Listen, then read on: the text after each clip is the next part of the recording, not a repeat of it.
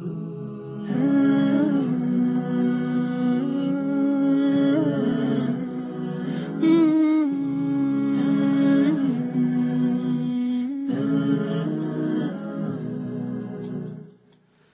stepped inside his home, he was overwhelmed with fear. An angel came with words from God, things were still unclear. Saying, Read, read, but he could not read. Amazing words that he heard.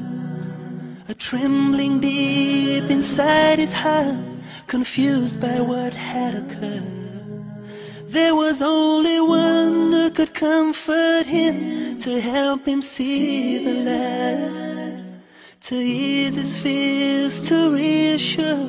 Was Khadija his wife? He said, Zamiluni, Zamiluni, Dathiruni, Dathiruni. A mighty task has come before me. I need you here with me by my side,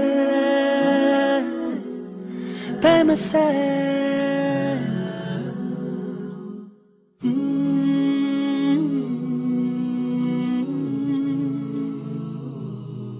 She was a woman of nobility, successful in all her trade.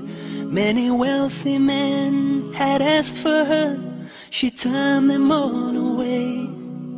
But when she saw Muhammad, a shining moon, may peace be on his soul.